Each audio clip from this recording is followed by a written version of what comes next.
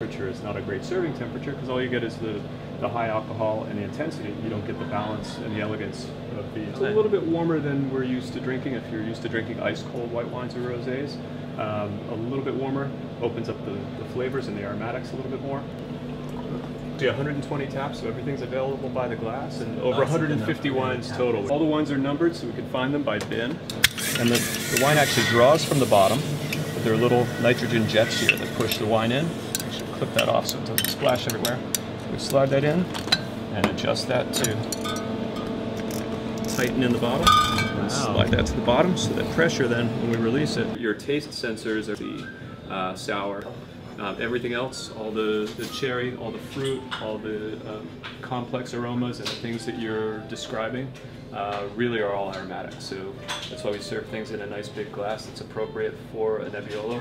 When we get your nose in there, uh, really all of those flavors, the truffle, uh, the earth, all of the things that you're tasting on your tongue. So it's very important to bring all simultaneously with the food.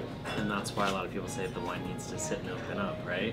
Yeah, yeah. The more it opens up, and you know, when you little trick we do just to not just look good, but to open up those flavors is you, you smelled that before. Now when you swirl that a little bit, put your nose in the glass before. If you might have only been getting a simple cherry flavor before, now you get uh, you know a deep dark uh, Bing cherry and uh, some of that uh, thing, some of that aromatics and flavors that might have just been thought of dishes and certain sauces with certain wines. So rather than be so linear with it, the more natural, the more flavor, and you know they've, they've seven. So 50-year-old Cabernet Franc vines. Uh, we picked one week and we the Due Amici, and then this was created for our uh, anniversary. Uh, 25th anniversary of Panorama, because uh, we opened in 1990 and served this at the uh, 25th anniversary party. So a very special bottling, and I think the best wine that's ever been. Really proud of. Served by the glass here since our anniversary two years ago.